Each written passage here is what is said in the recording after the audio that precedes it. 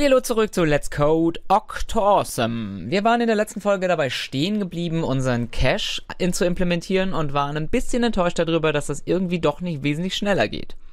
Ich habe äh, das Ganze hier mal vorbereitet nochmal. Ich möchte es nochmal ganz, ganz kurz zeigen. Wenn man die Applikation startet, dann ist erstmal lange blauer Himmel. Wie man aber sieht, ist der Chunk geladen. Und nach einer Weile tauchen dann auch die Chunks auf. Aber wesentlich langsamer, als das vorher der Fall war. Ähm, ja, im Moment, also ich weiß inzwischen, ich habe ein paar Tests gemacht, ich weiß jetzt ungefähr, woran es liegt, aber ich möchte euch trotzdem zeigen, wie genau ich zu dieser Erkenntnis gekommen bin. Ähm, zum einen haben wir natürlich ein bisschen was anders gemacht jetzt, nämlich äh, beim Generieren der Chunks. Äh, machen wir es ja jetzt so, im Moment generieren wir die Säule fünfmal neu, obwohl wir eigentlich fünf Blöcke, also ihr wisst schon, wenn man einen Chunk abholt, dann generieren wir die ähm, komplette Säule, weil der Chunk-Generator das so haben möchte, aber ähm, speichern nur einen davon, also nur einen Chunk und machen dasselbe für die restlichen vier Chunks auch nochmal. Das heißt, das macht uns alles wesentlich langsamer. Was wir aber spätestens beim zweiten Start, und das war, glaube ich, schon der zweite Start, äh, nicht mehr haben, ist natürlich äh, genau diese Generierung. Es wird dann nämlich alles von der Festplatte geladen. Das heißt, das darf eigentlich nicht mehr das Problem sein. Weshalb äh, wir uns jetzt natürlich die Frage stellen, was uns da jetzt gerade die Performance wegnimmt. Und äh, aus dem Grund möchte ich ähm, den Performance, äh, das Performance-Mess-Tool, das ich bei, in der letzten Folge schon gezeigt habe, äh, das möchte ich gerne noch ein bisschen genauer anschauen, weil das äh, in solchen Situationen, wenn es keine Exception gibt oder wenn man halt diese High-Performance-Zugriffe hat und ähm, ja, ist ein bisschen schwer zu messen. Darum ist dieses Performance-Mess-Tool ziemlich cool. Lass uns das mal genauer anschauen. Ich habe das äh, in der letzten Folge einfach mal schnell, schnell eingeschaltet ähm, aber in der Situation brauchen wir das jetzt ein bisschen detaillierter. Ähm, man findet das in Analyze Performance and Diagnostics.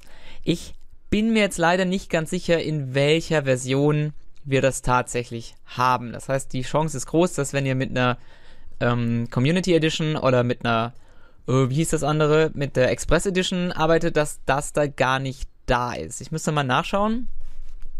Äh, das können wir eigentlich gleich mal machen, weil ich mir echt nicht ganz sicher bin. Äh, Performance. Äh, Visual Studio. Version. Äh, Performance Profiler. Studio Version. Ähm, vielleicht steht es ja hier irgendwo. Wird mir wünschen, dass es in den kleineren Versionen auch mit drin ist. Ich benutze ja Ultimate, das heißt, da ist eh alles drin. Ich kann also nicht genau sagen, was, äh, was hier Sache ist. Hier steht auch nur, dass ich Admin sein muss, aber hier steht nicht, welche Visual Studio Versionen. Ähm, Visual Studio Features für Comparison. Nehmen wir doch mal das da. Und da steht es bestimmt irgendwo drin. Diagnostics. Ultimate. Äh, in der Premium Pro, aber uh, das sieht schlecht aus. Ach, die kleine ist hier gar nicht aufgeführt. Na, ist ja dann Ast rein. Äh, Debugging Diagnostics, wir brauchen den Profile. Performance Debug. Sieht. Pff. Naja, gut. Das ist blöd. Das ist blöd. Also hier ist die Pro, aber ich dachte, die Community Edition wäre Pro-like. Also guckt einfach mal, ob euch, ob euch da was auffällt. Das ist ein super praktisches Tool. So, und jetzt, ähm, wenn man das startet, dann äh, kriegt man, und ich, ich, war beim ersten Mal probieren ein bisschen irritiert, weil das letzte Mal Profiling habe ich auf Visual Studio 2012 gemacht, da sieht es ein bisschen anders aus. Ich kann jetzt hier nämlich verschiedene Sachen auswählen. Ich kann aussuchen, ob ich die äh, CPU-Ausnutzung messen möchte. Und das haben wir beim letzten Mal gemacht. Das äh, funktioniert dann, wenn die CPU-Zeit halt auf 100% ist und man wissen will, welche äh, Prozesse gerade wie viel brauchen. Äh, Memory Usage, das werden wir auch noch brauchen, wenn wir ähm, uns um die Optimierung des Speicherverbrauchs kümmern. GPU werden wir brauchen, wenn wir mit den Shadern rumeiern, weil damit kann man halt gucken, wie viel Rechenleistung in der, in der Grafikkarte verbraselt wird. Und das hier ist das, was man äh, vielleicht äh, nutzen sollte, um ähm, ja das zu machen, was wir jetzt brauchen. Das ist nämlich das typische Sampling um zu gucken, welche Teile meines Codes tatsächlich wie viel Zeit brauchen. Und auch da kann man sich wieder unter verschiedenen Dingen was aussuchen. Ich kann ähm, hier oben zum Beispiel gucken, das ist im Prinzip das, das CPU-Messinstrument, um zu gucken, wie viel CPU-Zeit, das hatten wir beim letzten Mal schon, wie viel CPU-Zeit von welchen Methoden verbraucht werden. Das ist aber gerade nicht unser Bottleneck. Deshalb, ähm, Memory ist nicht das Problem, CPU ist nicht das Problem. Wir haben Probleme mit den Logs und ähm, das kann man hier unten schön machen. Also hier gibt es diese Möglichkeit, ähm, rauszufinden, wie die Threads miteinander arbeiten. Ähm, aber das habe ich letztens schon pro probiert. Monogame loggt ziemlich viel, weshalb äh, wir dann ein richtiges Durcheinander kriegen von ähm, ja, Logs. Also das, das hat mir überhaupt nicht weitergeholfen. Ich finde diese Instrumentas Instrumentalisierung ganz nett, weil das hier, ähm, das ist ziemlich äh, performancefressend. Also ihr werdet gleich sehen, dass das Spiel nicht laufen wird, wenn wir das einschalten.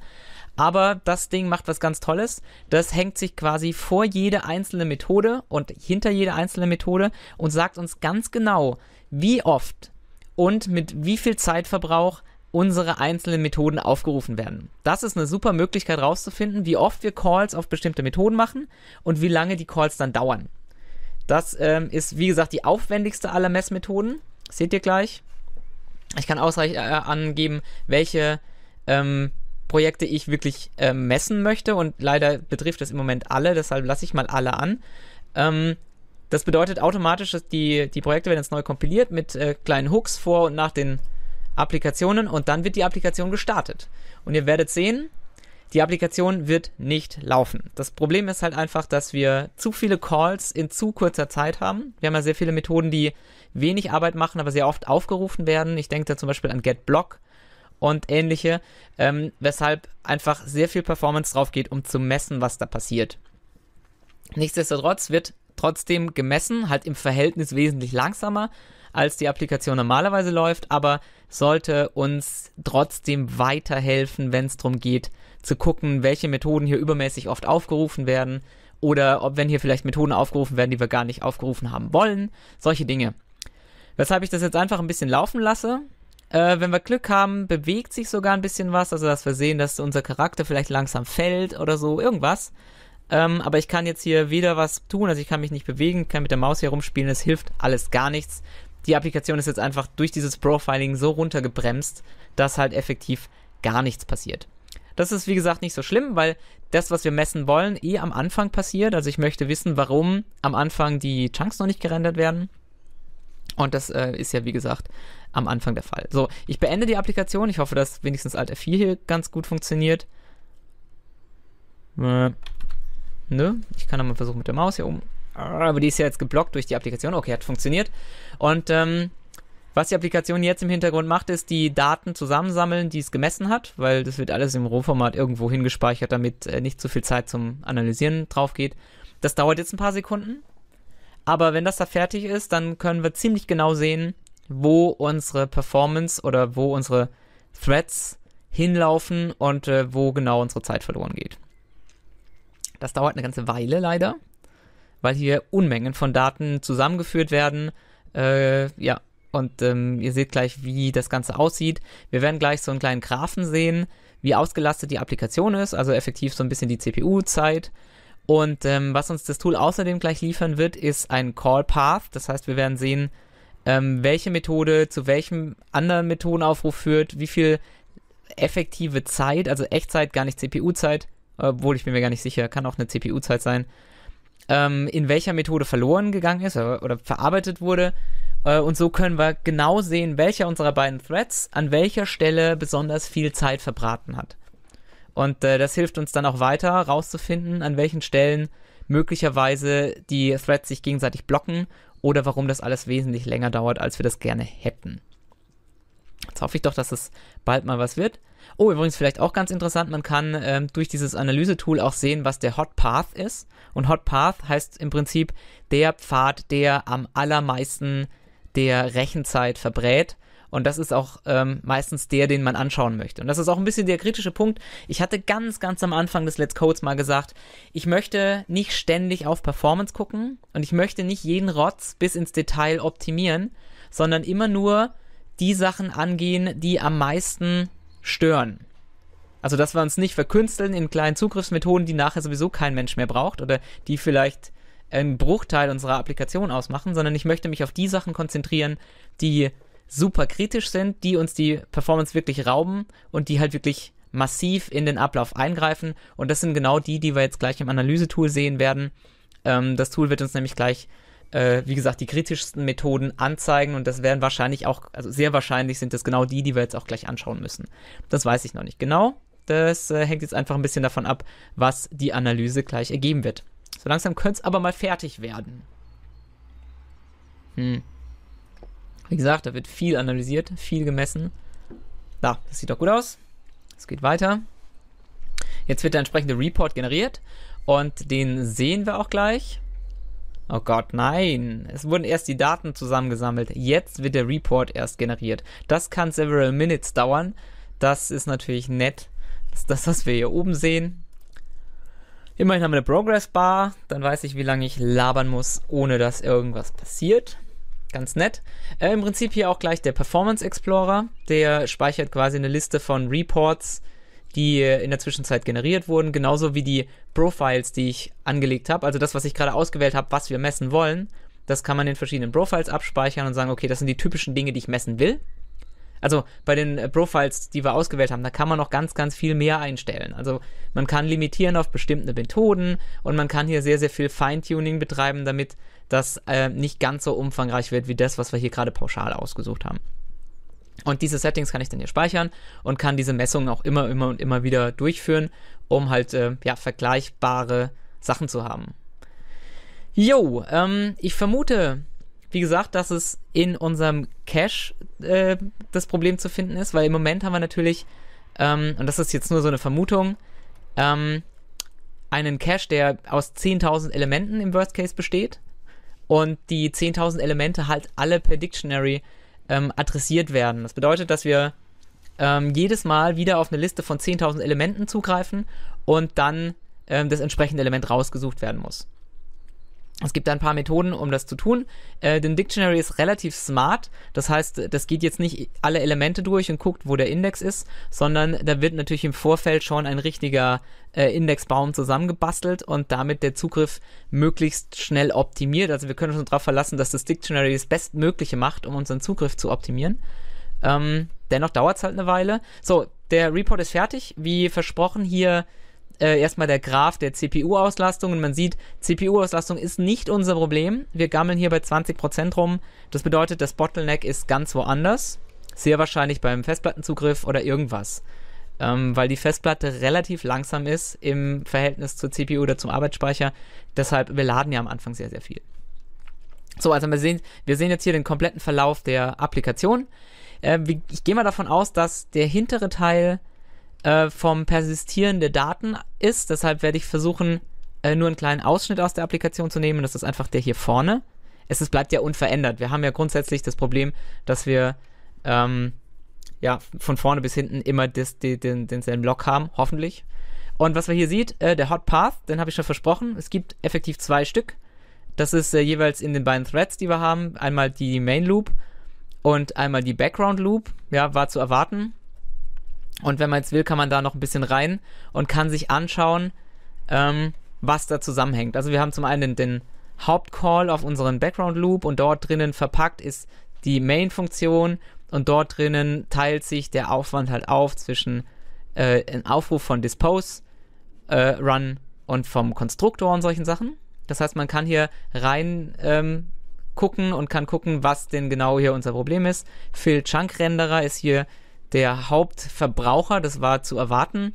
Ähm, hier drinnen können wir dann reinschauen, was genau im äh, Fill Chunk Renderer blockt. Get Chunk ist äh, hier das Hauptproblem. Und da kann man natürlich nochmal rein. Ähm, die Hauptzeit hier in Get Chunk ist auf Get. Und hier sieht man übrigens auch schon die Differenz der Zahlen.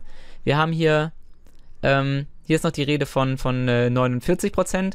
Ähm, hier kommen plötzlich nochmal irgendwo die 5% her, die kommen nämlich aus einem anderen Call sehr wahrscheinlich.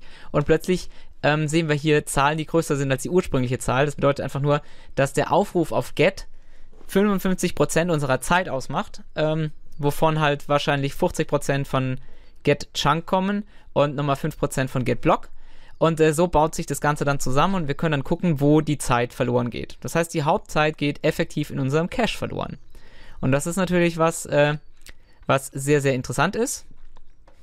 Und wenn man da aber reinschaut, dann sieht man auch, das ist ja äh, verrückt. Ähm, wir verbrauchen zum Auf, äh, zum Abrufen der eigentlichen Chunks, wo ich jetzt eigentlich dachte, wo das wirkliche Schwierigkeit ist, das wirkliche Bottleneck ist, ähm, nur 3% der eigentlichen Zeit, die, die gerade zur Debatte steht. Der Invoke, das ist im Prinzip unsere Methode, wahrscheinlich Load, ähm, Load Chunk. Das heißt, da gehen 20% drauf, das ist aber eine Zeit, mit der haben wir kalkuliert. Und jetzt haben wir was ganz Spannendes, hier haben wir nämlich einen Monitor Enter.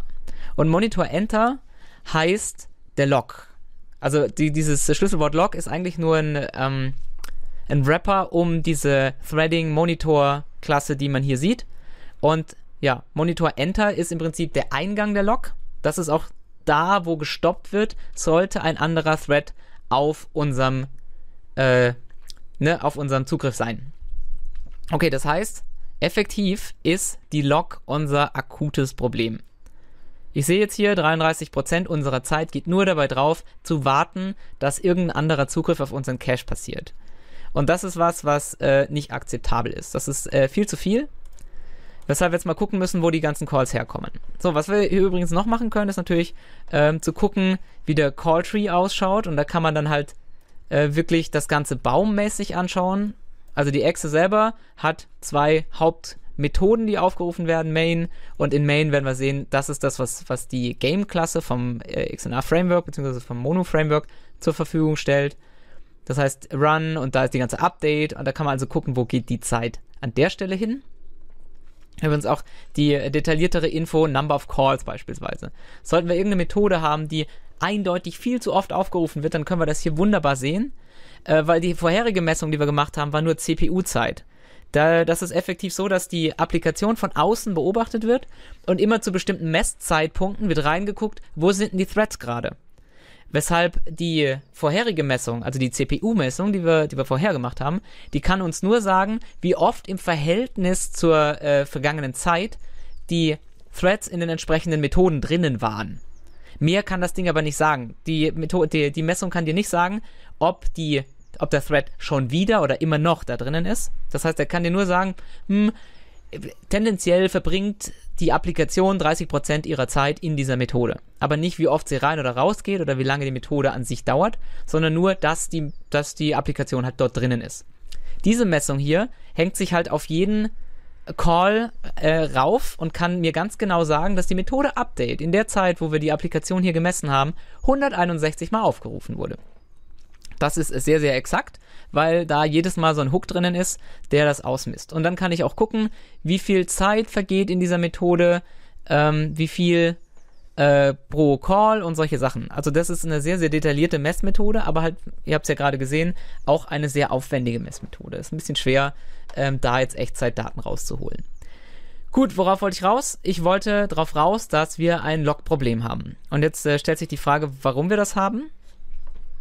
Äh, und das äh, können wir ja mal gucken. Also man sieht hier, ähm, die Auflistung der Report ist ziemlich spannend. Also man sieht hier die beiden Hot Paths, das sind im Prinzip die beiden Threads, die teilen sich quasi den Aufwand, äh, ja, 50-50 eigentlich. Ähm, und hier unten sehe ich auch die Function mit den meisten mit der meisten verbrauchten Zeit effektiv. Und ähm, ja, wenn halt ein Log ganz oben auf meiner Liste steht, dann läuft hier massiv was falsch. Äh, was wir hier außerdem sehen, ein Serialize. Moment mal, Serialize? Ah, wir haben noch alles drin. Was man hier oben jetzt machen kann, das ist die Werte hier, die betreffen die komplette Laufzeit der Applikation. Aber wenn man weiß, dass man am Ende der Applikation andere Dinge tut als am Anfang, dann kann man das hier so machen. Man selektiert einen bestimmten Anteil der, der Zeit und sagt, man möchte alle Informationen nach diesem Zeitfenster filtern.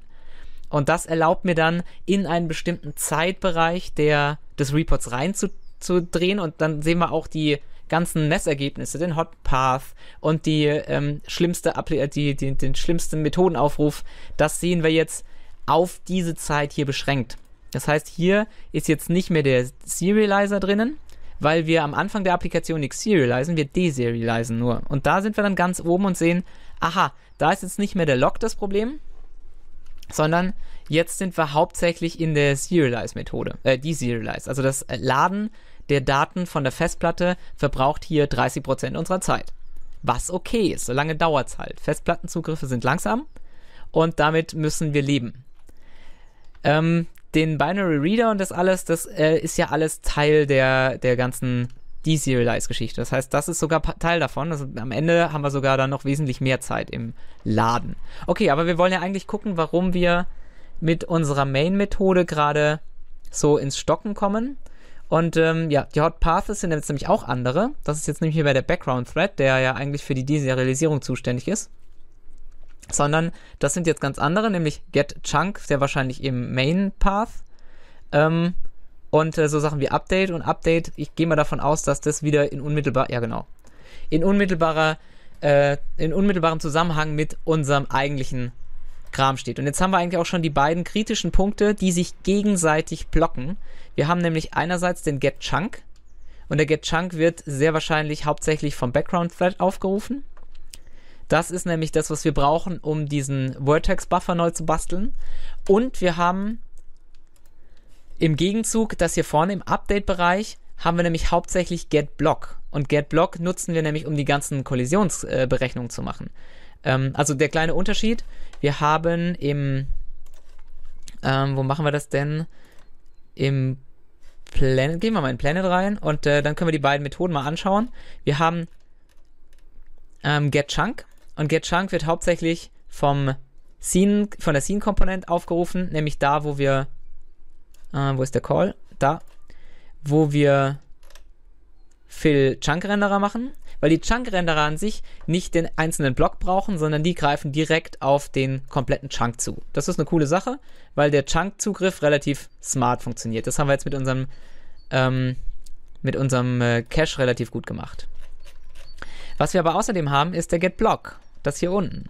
Der getBlock nutzt im Prinzip auch den getChunk, um den Chunk zu holen, aber das ist das, was ich schon vermutet hatte. Wir haben nämlich hier in der Update-Domain, das ist quasi die Update-Methode des, ähm, na, des, ähm, verdammt nochmal, äh, der, der, der Kollision, da sind wir doch. Ähm, hier machen wir nämlich für jeden Block, der für die Kollision potenziell in Frage kommt, und da hatten wir ja schon mal so hochgerechnet, das werden sehr wahrscheinlich um die 40 Blocks pro Frame sein, machen wir jedes Mal einen getBlock. Und ein getBlock sorgt für einen getChunk.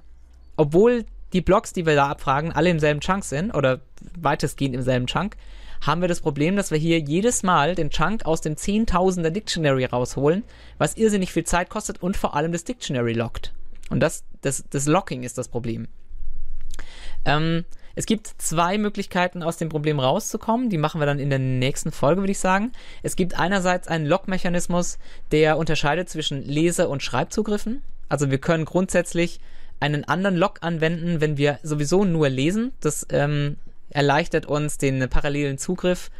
Sollte auf den Chunk nur Lesen zugegriffen werden. Also erinnert euch, wir hatten in unserem ähm, Cache hier oben, wenn wir Get machen, dann gibt es hier oben den lesenden Zugriff das hier verändert den Cache nicht. Das heißt, hier könnten wir eigentlich einen Read-Only-Log machen. Und erst hier unten, wenn wir Dinge reinstecken, ähm, dieser Log hier, das ist ein schreibender Log. Das heißt, wir könnten hier unterscheiden zwischen lesend und schreibend. Und das würde schon mal die äh, Anzahl der Logs minimieren, weil hier können wir dann, also der, der Read-Only-Log sorgt dafür, dass alle, die nur lesend zugreifen wollen, parallel zugreifen können. Das ist okay. Und ähm, außerdem gibt es ähm, hier die Möglichkeit, schreibend zu locken. So, das ist eine Möglichkeit. Die zweite Möglichkeit, die es gibt, es gibt neben dem Dictionary noch ein Concurrent Dictionary. Das ist ein Dictionary, das ausgelegt ist für den parallelen Zugriff. Das heißt, wir bräuchten diese Logs alle nicht zu machen. Das ist äh, fast sogar mein Favorit. Ähm, verhindert allerdings nicht, der ist nur, der ist nur unempfindlich gegenüber äh, parallelen Schreibzugriffen. Das, ähm, ja, also es gibt keine Exceptions dadurch. Allerdings kann es trotzdem dazu führen, dass wir hier einzelne, ähm, einzelne Elemente parallel laden. Das machen wir im Moment aber sowieso auch. Also ähm, das könnten wir nutzen, um ähm, solche Sachen zu verhindern. Und die dritte Möglichkeit, jetzt habe ich es nämlich vergessen. Ähm, die dritte Möglichkeit, die ich aber so oder so anwenden möchte, ist ähm, zwei Caches zu machen. Einen für den direkten Zugriff in unmittelbarer Nähe und einen zweiten, der für den globalen Cache zuständig ist. Ähm, das sind ähm, die Maßnahmen, die wir angehen können. Das würden wir alles in der nächsten Folge machen. Die Frage ist nur, was machen wir zuerst? Ich würde ähm, als allererstes mal den Concurrent Dictionary hier anwenden. Ich habe mit dem noch nie gearbeitet. Ähm, allerdings gibt's den schon und ich würde in erster Maßnahme die Logs hier entfernen und das Concurrent Dictionary nutzen, um zu sehen, ob das, also unser Performance-Problem wird das sehr wahrscheinlich lösen. Ähm, die Frage ist nur, ob es uns weitere Probleme macht, weil wir ja jetzt dann anfangen, parallel Dinge zu laden. Und äh, das könnte unter Umständen zu Schwierigkeiten führen. Das weiß ich noch nicht. Und ähm, die dritte Maßnahme, diesen Read-Only-Log, den sparen wir uns dann, wenn wir das Concurrent-Dingens nehmen, weil wir dadurch dann, ähm, ja, das nicht mehr brauchen. Das werden wir aber an anderen Stellen noch brauchen, weshalb das sicher früher oder später zum Einsatz kommt. Ich wollte es hier nur mal kurz erwähnen, dass es sowas gibt. Jo, und den, äh, die dritte Variante, den äh, parallelen Cache, den werde ich so oder so machen, weil wir im Moment denselben Cache nutzen, um die globale View Range mit, mit ähm, Chunks zu füttern, gleichzeitig aber auch dieses Micromanagement vor Ort, also die ganzen Kollisionsprüfungen, die machen wir mit demselben Cache. Und das ist eigentlich eine dumme Sache.